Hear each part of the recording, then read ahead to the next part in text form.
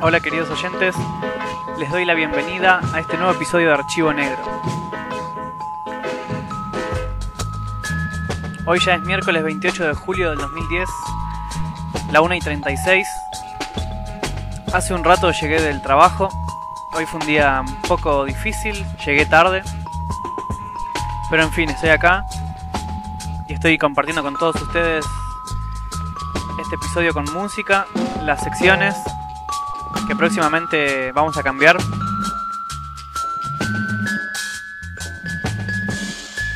Con historias, con noticias, con todo lo que forma parte de Archivo Negro. Un invitado especial que va a venir el día de mañana a grabar. Va a estar dividido en dos partes. La primera parte voy a estar yo solo hablando de, del fin de semana que pasé con mis amigos. eh, del domingo que fue lluvioso y feo. Pero también va a estar el invitado presentando su música y hablando un poco de sus proyectos, contándonos qué piensa hacer con su arte. En realidad, la primera parte la iba a grabar el domingo. Estaba ideal para grabarlo con el sonido de lluvia de fondo. Un día feo, desolado. A mí me tocó trabajar, todos los domingos trabajo.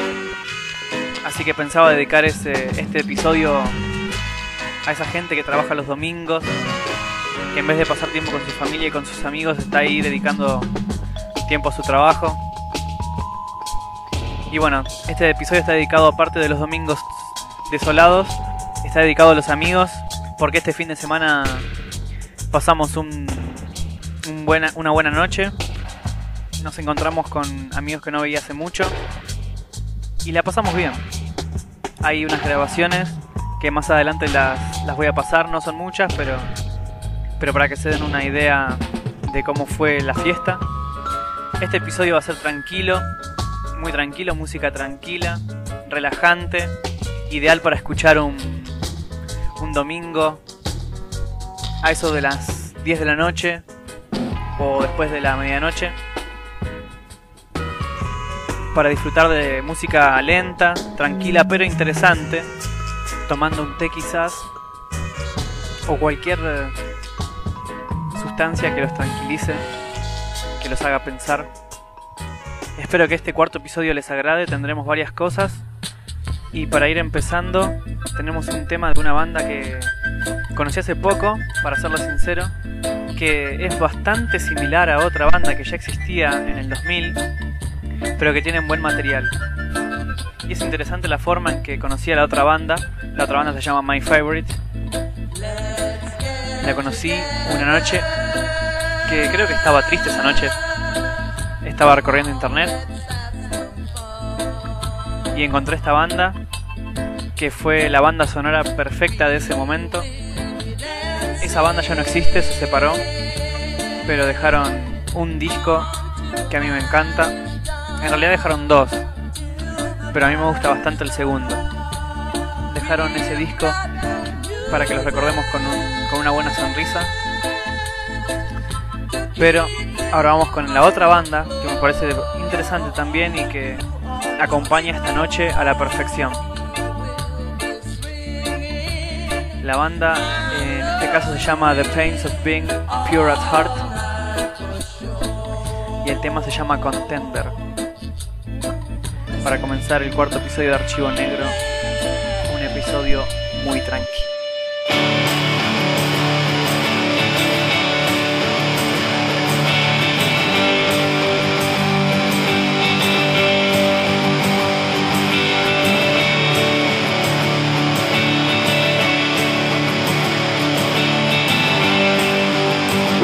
Facundo y le mando un saludo al archivo negro.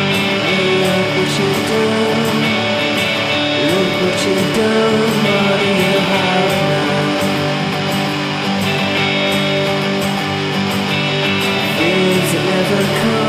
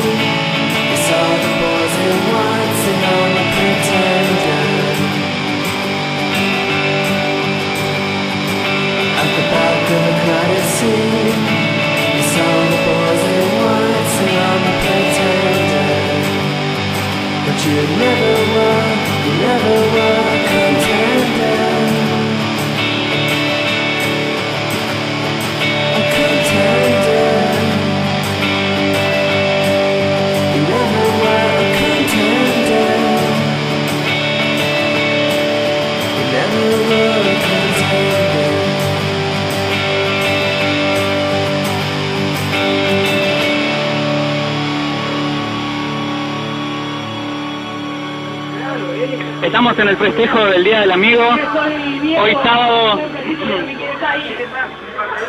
y ahora vamos a tener la opinión de un grande, de Diego, que nos va a dar su opinión. A ver, Diego, ven acá. ¿Con todos los amigos? Yo lo único que quiero decir acá en este momento es que la chica más codiciada de, de Latinoamérica está soltera. Se parece a Wanda Nara. ¡Fiesta loca! Se parece a Wanda Nara después de, de- ¿cómo se llama? Maxi Iorio. Les presento al invitado del día. Hoy nos acompañará el señor Maximiliano Salerno, de edad 30, nacido en abril y cuyo signo es Aries. ¿Alguna introducción? Bueno, me presento, soy Maximiliano y hoy como introducción hago- hago de presentar un, un nuevo proyecto llamado Moon, Luna, que se trata en- entre efectos, sonidos de música de película mezcladas con música clásica. Bueno, ¿cómo fue en el viaje? Hoy hace, hace un lindo día, hace calor, está, está, está perfecto el día para salir y caminar, ¿no? Sí, está muy lindo el día, es más para salir a caminar, está recorriendo por el Tigre, lugares así, y en otro sentido salí a tomar un poco de aire. Sí, hay que aprovechar estos días después de tanta lluvia, tanto frío, tanto, tanta cosa fea, ¿no? Bueno, eh, les comento que crea música. ¿En qué te basás para, para crear los temas? Mira, so- a mí me gusta, soy muy inspirador de Jen Mitchell, el creador de Equinoccio. Yo me baso a un video, fue promocionado, fue por MTV, que dieron, con, lo tuvieron una semana, nada más, y es un video que salió única vez, dado a la luz, se llama Rosas de Fuego. ¿Qué estilo tendría tu proyecto? ¿Qué música haces? Es música clásica con efectos de sonidos de música de película y, y efectos combinados y alternativos. ¿Hace cuánto que creas música más o menos? Estoy con este proyecto hace 5 años en, en querer hacerlo y hasta este momento se, está se me está dando haciendo las cosas de a poco y de a poco voy eh, siguiendo la- en componer los, los temas y en grabarlos. Yo sé que fuiste a, a aprender piano y ahora usás técnicas de piano o es más lo que te sale de adentro. Son técnicas de piano lo que me sale y también técnicas de adentro. Y estuve aprendiendo piano en el ombú con la profesora Ana y estuve cinco clases aprendiendo música clásica. ¿Cuál es el futuro de este proyecto? ¿En qué, qué, qué pensás que, en va a terminar? Yo presento este, este proyecto pensando en un, en un futuro cómodo para lo que es la música nivel artístico y me gustaría más presentarlo a, a gran escala, lo que es en otros países, que se hagan hacer conocer la- los temas. No importa a las personas que las escuchen, solo a- hacerles llegar la música. Me estuviste contando alguna vez que tu idea es pasar videos mientras vos te presentás en vivo, que estabas averiguando por algún lugar en San Isidro, ¿era? Contanos un poquito de eso. No, mira, estoy averiguando para presentar un disco Mu como en en una radio en San Fernando y estoy averiguando también en San Isidro en el viejo teatro para presentar los temas en vivo. ¿Te gustaría compartir escenario o invitar a alguien en especial, alguna banda? Sí, me gustaría invitar a gente para participar en temas. Bueno, en el día de hoy es- eh, iremos escuchando unos temas que compone Maxi. Contanos un poco cuáles son los que elegiste y por qué elegiste esos temas en particular para presentarle a la gente. Bueno, este tema que presento se llama Entre Llanto. Este tema lo compuse cuando me, me peleé con una persona muy querida y salió este tema.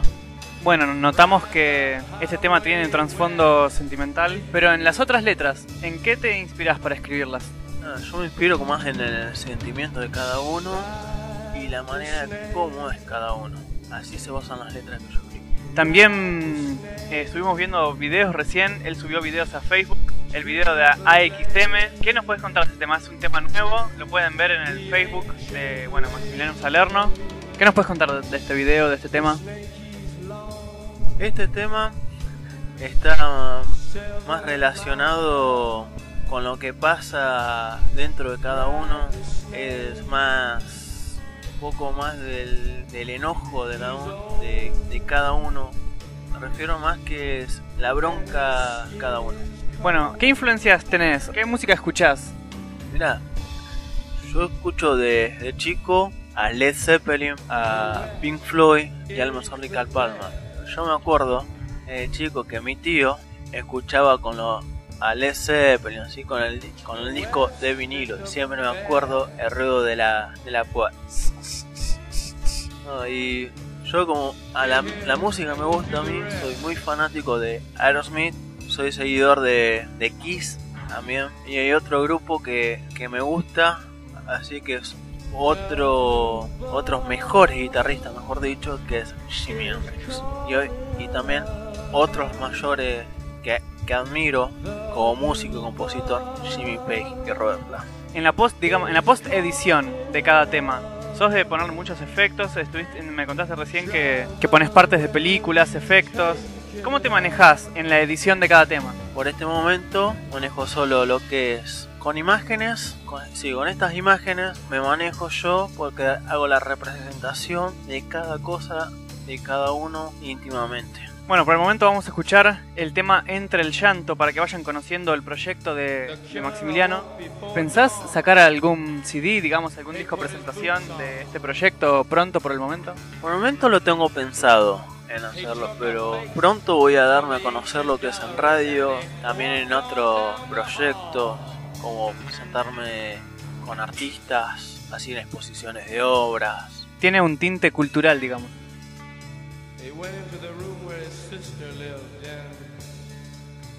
Este es el tema, entre el llanto.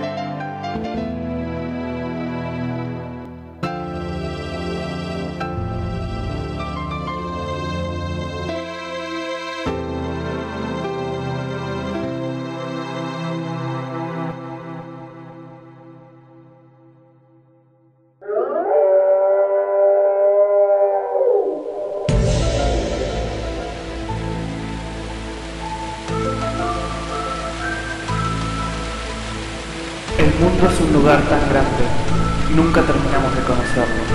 Hay interesantes mitos que no te dejan dormir, que mucha gente no conoce. Suspenso, misterio, terror.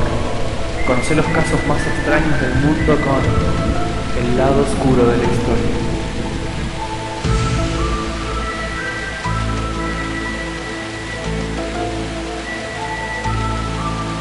Hoy, la nube que se llevó a 267 soldados. La batalla de Gallipoli tuvo lugar en 1915 durante la Primera Guerra Mundial.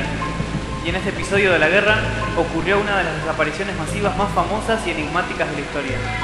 El 21 de agosto, al sur de la bahía de Suila, 22 soldados neozelandeses pertenecientes al cuerpo de ingenieros observan desde una posición elevada cómo tropas del Comando Unido de Australia y Nueva Zelanda, QANZ, intentan tomar la cota 60. A media mañana ven una densa nube descender hasta cubrir 267 soldados británicos, pero no saldrán de ella nunca más.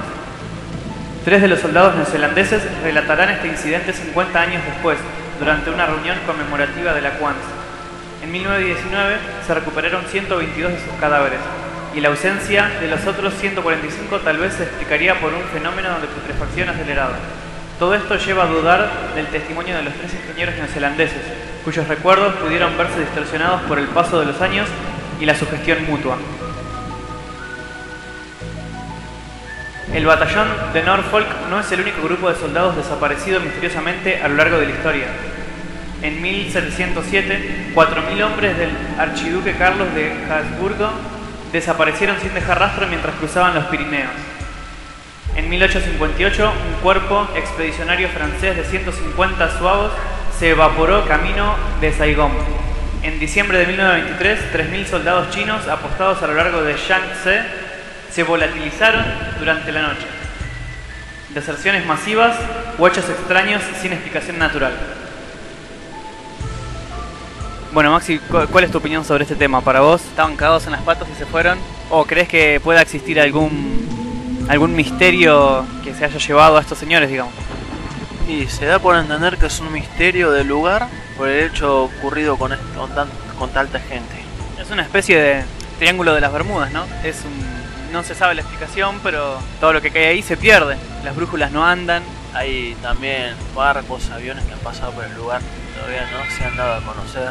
Si, algún, aún siguen vivos o si hay rastro de algún barco o alguien que haya pasado por el lugar. No, no creo que haya. Todos deben estar hundidos en las profundidades del océano. ¿Vos tenés alguna historia sobrenatural como para compartir con nosotros? ¿Algo raro que haya pasado a vos, a algún conocido? Que te haya contado alguna historia misteriosa, algo que pueda llegar a asustar a los oyentes. Sí, esto pasó hace un montón, digamos, unos tres años atrás, con unos amigos.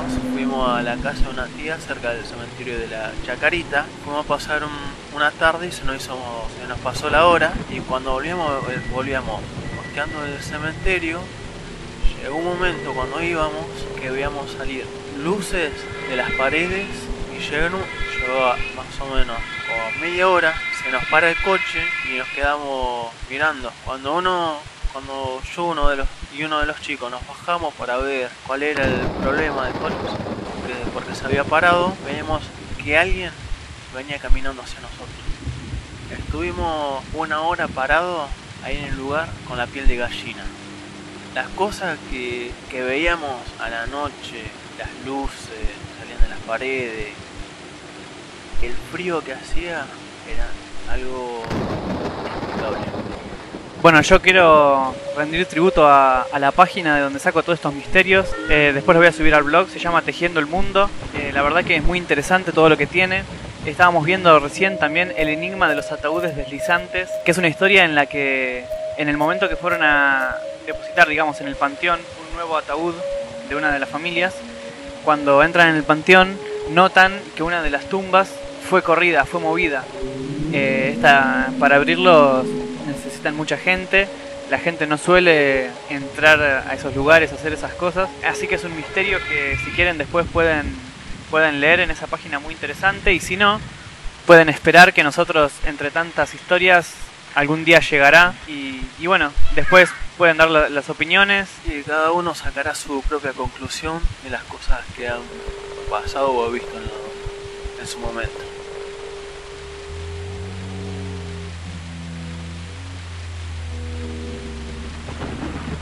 Bueno, ahora vamos a escuchar un poco la, la opinión de, de Fabricio con la Andrea. Pinar, eso quiere decir que por 100 pesos te consigo el teléfono y el mail de Jessica. Y por 100 más la dirección. Así que arreglamos, no sé, si alguien interesa, me busca. Bueno, listo, así que ya, ya saben. Eh, ¡Aguante España!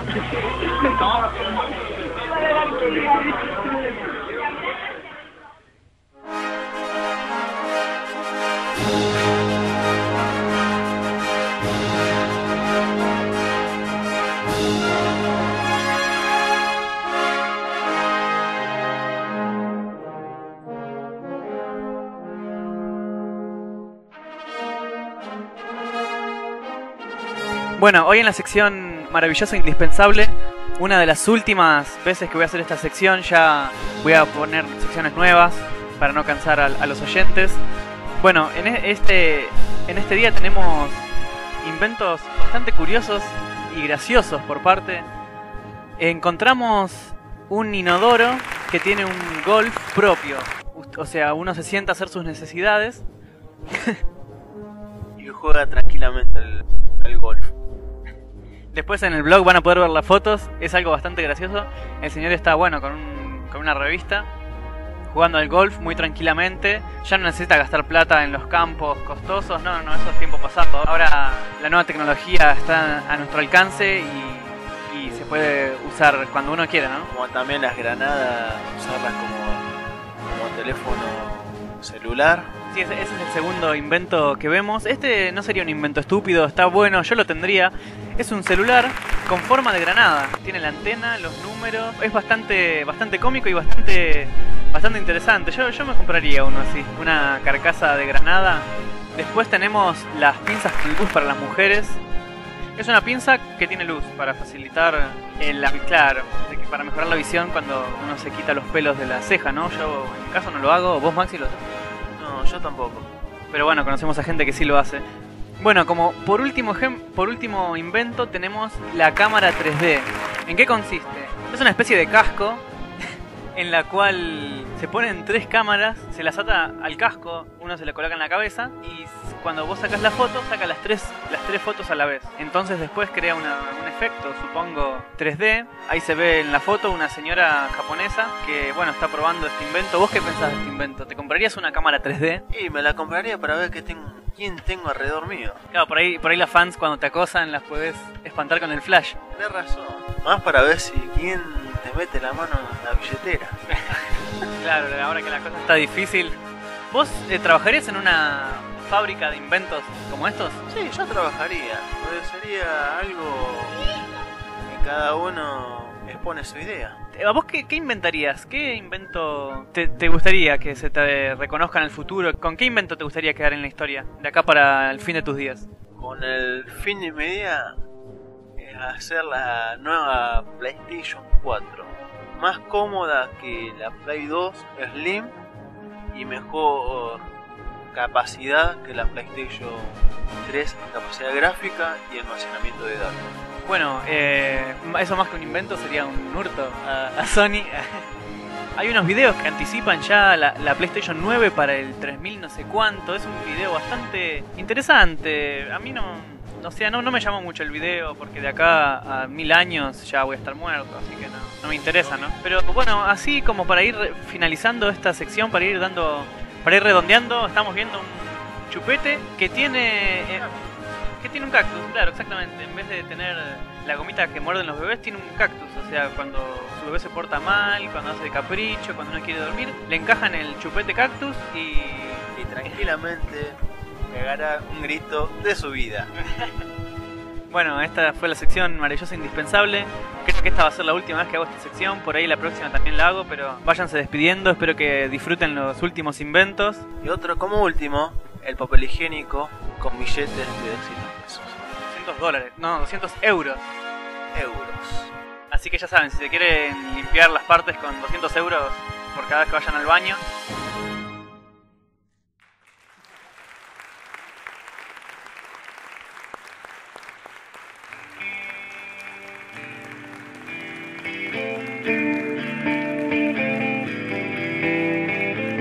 Y pasando a las recomendaciones del día de hoy, en el primer puesto tenemos la película.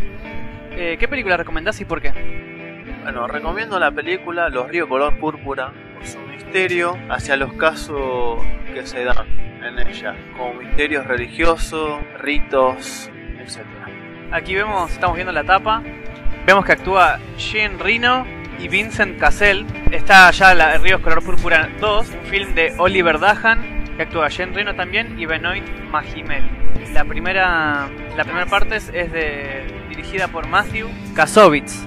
Yo la verdad no, no la vi, pero bueno, si vos la recomendás, la verdad que la voy a tener en cuenta. Bueno, pasando al libro, Maxi recomendó qué libro? El libro es Rojo y Negro. El rojo y negro, Le Rouge et le Noir. No sé si se dice así, pero bueno, es mi pronunciación, yo nunca aprendí francés. Es una novela de Henry Bailey que se publicó a mediados de 1830. La trama se desarrolla en Francia del siglo XIX durante la década de los 30. Se trata de las ambiciones de un joven para elevarse sobre la pobreza de su nacimiento. El título del libro podría aludir a los colores de los uniformes del ejército rojo y de los sacerdotes negro. La obra se juzga como una de las mejores de la narrativa francesa, novela psicológica que influyó a muchos escritores del realismo, en particular a León Tolstoy en el siglo XX, a André Gide. Bueno, yo la verdad tampoco leí este libro, pero parece ser interesante. Igualmente yo me tiraría más por una película sobre un libro así. Eh, bueno, pasando al disco, ¿qué recomendás para los oyentes, para sorprender a los oyentes? Mira, el disco que me gusta a mí para, para los oyentes es el disco El Clon, un especial de música de baile de Shine, de Hal. Acá pu- pueden encontrar unos videos en YouTube. El clon es, bueno, es la banda sonora de la serie brasilera, creo que era. Bueno, mucha música árabe. Chicas bailando. ¿A vos te gustaría, Maxi, que, al- que alguna muchacha te bailara así? Sí, me encantaría ver tanta hermosura y encima esa danza es para seducción del marido de la persona que tanto quiere. ¿Alguna vez fuiste a algún show de danzas? No he ido, pero me gustaría asistir a una. Bueno, este disco lo pueden comprar, eh, lo pueden bajar. Recuerden que si lo bajan, después lo compran. Es solamente para probar si les gusta o no, para después para luego comprarlo y cooperar con, con el mercado de la música, ¿no? Bueno, y como última recomendación, ¿qué recomendas para los oyentes? Recomiendo ir a la rural, en la provincia de acá de Buenos Aires, la casa del campo en la ciudad. Bueno, eh, vemos que, que habrá están de más de 430 expositores, 4.000 animales, concursos, exhibiciones, espectáculos, demostraciones de camionetas, espectáculos en la pista central y en pistas auxiliares. También habrá demostraciones de comida, de cocina y degustación de productos regionales. ¿Vos eh, fuiste alguna vez a alguna de estas casas de campo en la ciudad? Sí, he asistido, es muy bueno y satisfactorio, como para, para una salida. ¿Probaste alguna comida regional o algo de eso? He comido comida y es, es espectacular. Una cosa te digo, les recomiendo las tortas fritas. Tortas fritas deben estar buenas. Y hablando de comida, yo recuerdo que una vez hace poco, cuando hicimos una fiesta acá en casa, estábamos comiendo chaufán, arroz, arroz con verduras para los que no los conozcan, para los que no sepan lo que es. Y, y vos empezaste a hablar de- una comida que a mí me dio mucha gracia, que eran los bocaditos de seso, ¿puede ser? ¿Qué nos puedes contar sobre los bocaditos de seso? No, es una comida que, que hace mi abuela son muy ricos. Son ideal para zombies, ¿no? Bocaditos de seso le, le viene bien. No, eso depende como lo tome cada uno, pero es una comida muy rica, muy sana. ¿Y qué otra comida podrías recomendar a los, a los oyentes así que tenga un nombre tan particular, ¿no? Como bocaditos de seso. Bocadito de acelga, los bocaditos de acelga, que, bueno, ¿y algún otro? ¿Algún bocadito de algo? Siempre un bocadito. Eh, ¿Cómo dijiste? Guiso de lentejas. Toda comida muy, muy de campo, ¿no? Va, me suena muy de campo. Muy de campo eso. Quizás sea rica. Yo la verdad que esa comida mucho no como, pero la gente crece fuerte. También otra de las comidas muy ricas es la mulita. La mulita. ¿Cómo? ¿Qué, qué es eso? Es un animal que con el caparazón se hacen los charangos de este animal. Para comerlo se tiene que hervir y una vez se termina de hervir se sirve en una fuente y se cortan trozos, en porciones. ¿Con qué se suele acompañar el- este- esta comida? Esta comida suele acompañar con papas o el pan. Bueno, digamos, Bueno, ahí vemos las recomendaciones de Maxi también sobre comidas esta vez. Les recomiendan los bocaditos de seso, bocadito de acelga, todo bo- bocadito de lo que de lo que sea. Prueben guiso de lentejas, toda comida muy, no sé si decirlo rústica, pero comida muy muy de campo, creo yo. Yo estoy acostumbrado a vivir a fideos y a arroz y atún y esas cosas y nada más. Pero bueno, pero bueno, sigo aquí, ¿no?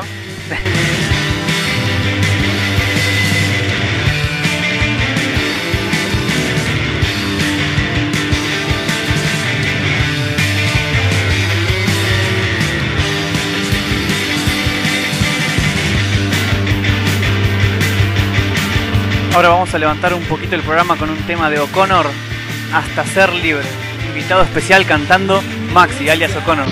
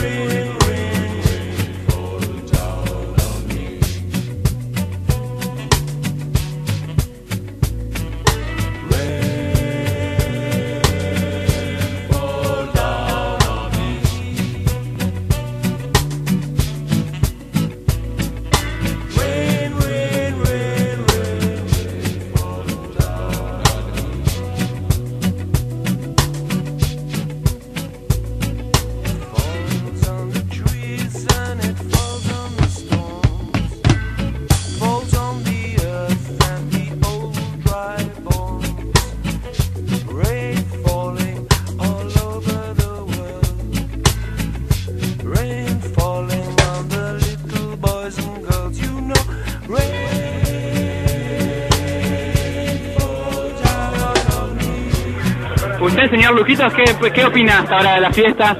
Yo opino que es una fiesta muy movida, muy dinámica, en la cual se está desarrollando muy bien. Eh, hay una gran cantidad de gente, muchos amigos y también desconocidos, conocidos, desconocidos, los cuales eh, tienen muy buena onda. Acá la vemos a Ceci, la cual está siendo promocionada por Fabro, que por 100 pesos le da la dirección, no, era el teléfono y por otros 100 pesos era la dirección. Déjenme aclarar que es, es bastante cara, se tiene que sentir bien, porque 200 pesos. 50 más fotos. 50 más fotos. Y por- no digamos eh, qué será por 500.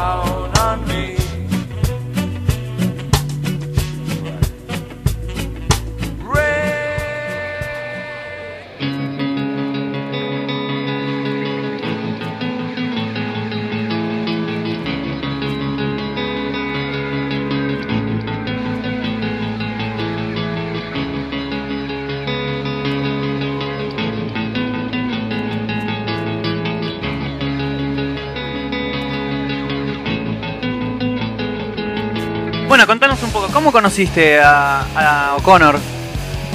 Bueno, Connor lo conocí, fue en un festival que, que daban. No solo aparte también lo conocí, fue por la tele. En un recital en, en Music cuando estaban Orcas, O'Connor, Raíz, haciendo un tema de tributo a B8, Destrucción. A lo- al poco año me enteré de un festival en, en obras que estaban entre, ellos. Orcas y O'Connor, Rata Blanca, Raíz y fui a verlo. Me encantó. Lástima al final. Siempre hay un desubicado. Si no fuera por el profesionalismo de, de Sardino, no hubiese pasado más, más de, lo, de lo que había pasado.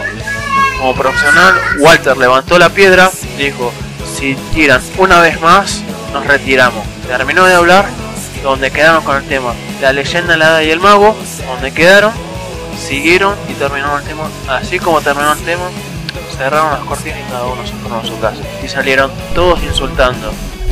Porque nadie tocó el tema que todos pedían, destrucción. Y salieron con Chico Callejero, con los integrantes de Rosa Cruz y Orcas. ¿Qué pasó en el incidente? ¿Le, le tiraron un, pedazo, un piedrazo a Walter Jardino? Tiraron una piedra en el escenario como parte, mejor dicho, como llamar la atención por no presentar el tema Destrucción de B8. Como Walter Jardino era ex integrante de B8 y a pedido de la gente no lo tocaron, salieron con Chico Callejero y pasó lo que pasó. Pero por suerte no pasó a mayores. Bueno, agradecemos la visita de hoy, Maxi, muchas gracias por venir. No, de nada. Muchas gracias por compartir este momento, más por estar conjunto a vos y la participación de, este nuevo proyecto. Gracias, total. Bueno, ahora vamos a escuchar dos temas más del proyecto de Maxi titulado El Nuevo Mundo. En este caso escucharemos los temas AXM y Tormenta. Después los dejo con más música tranquilita para que disfruten y pasen unos lindos 10 minutos. Siempre todos los invitados dicen una frase, una recomendación, al- algún consejo. Eh, ¿Vos qué, qué- le dirías como para despedirte? ¿Qué le dirías a, a lo- a los escuchas? A los escuchas, o mejor dicho, a los oyentes. A los oyentes les diría que, que escriban si realmente el proyecto es muy bueno, si les encantó, me gustaría que me lo aclaren en lo que es en Facebook, lo que es el nuevo video. Muchas gracias. Y si lo escuchan por las noches, como dijo Joe Perry el 15 de abril, muy buenas noches. Bueno, muchas gracias por compartir este tiempo con nosotros y nos estaremos reencontrando la semana que viene a la hora que ustedes elijan, el día que ustedes prefieran. Recuerden que cada transmisión estará disponible en archivo-delmedionegro.blogspot.com. Allí podrán dejarnos sus quejas, comentarios y o sugerencias. Nos estamos viendo, hasta la próxima.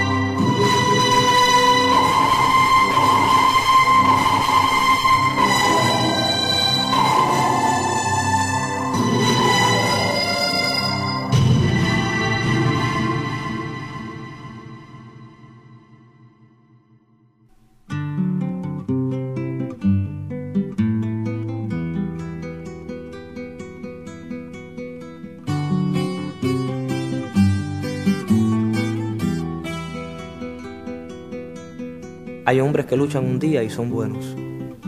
Hay otros que luchan un año y son mejores. Hay quienes luchan muchos años y son muy buenos. Pero hay los que luchan toda la vida. Esos son los imprescindibles. Bertolt Brecht. Esta extraña tarde desde mi ventana trae la brisa vieja de por la mañana. Hay nada aquí, solo unos días que se aprestan a pasar, solo una tarde en que se puede respirar, un diminuto instante inmenso en el vivir, después mirar la realidad y nada más, y nada más.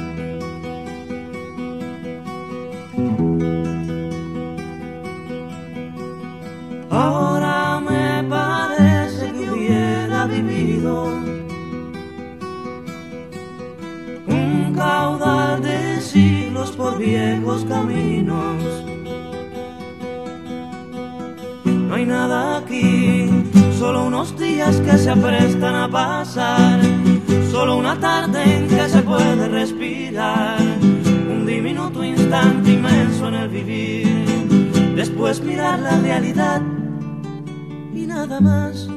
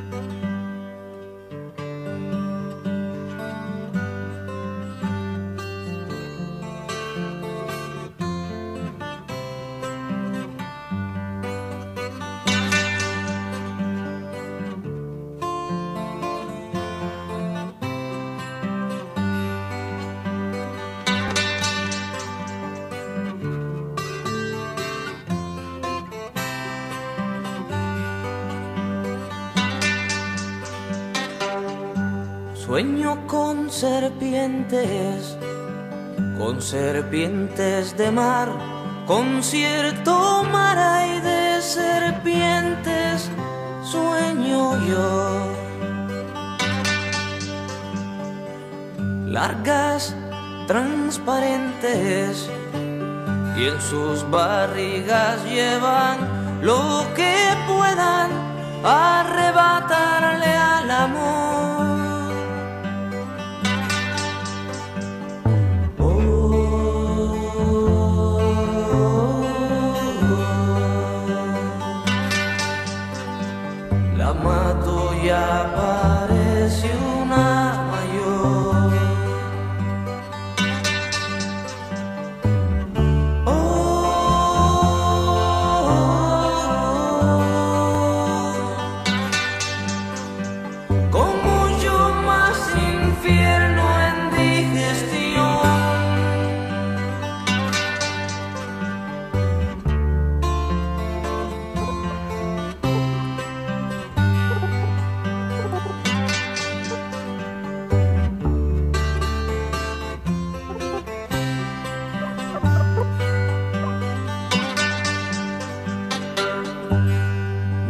En su boca, me trata de tragar, pero se atora con un trébol de mi sien.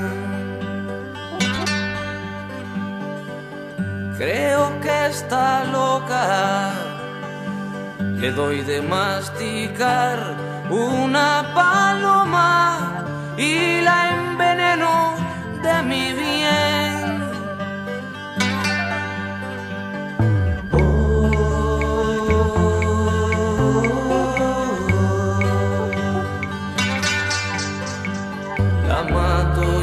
apa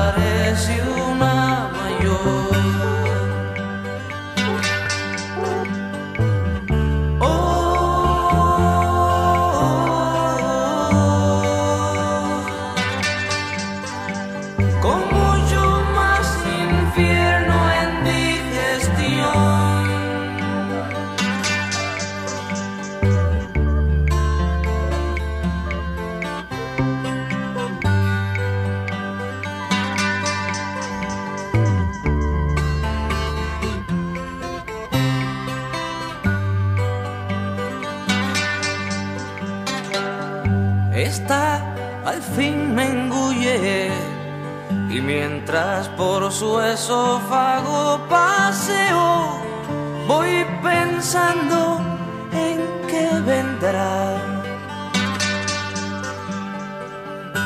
Pero se destruye cuando llegó a su estómago y planteó con un verso una verdad.